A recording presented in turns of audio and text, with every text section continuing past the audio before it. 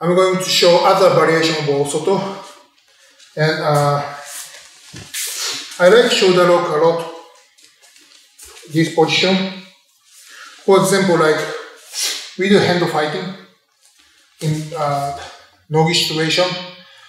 And uh, when I take one hand, then I'm going to uh, single leg.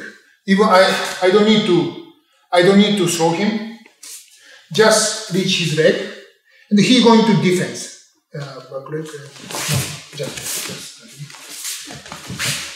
Then I can reach underhook this way.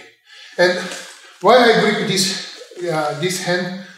Why I don't need I don't go to single leg di uh, directly because if sometime good jiu-jitsu I go to single leg then he can uh, do uh, guillotine choke from this position. No, uh, this position. So I recommend I one hand grip. Because my goal is not going to uh, throw by single leg.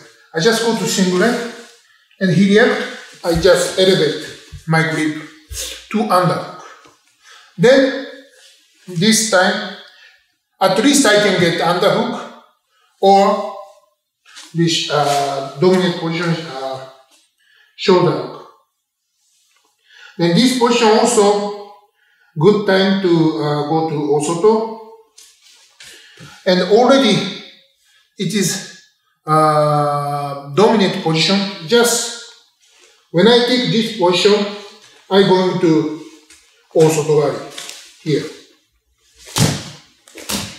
And this position, you don't need to think chest to chest. Just focus, uh, push his uh, chin by your head. Like this position. Enter Osoto and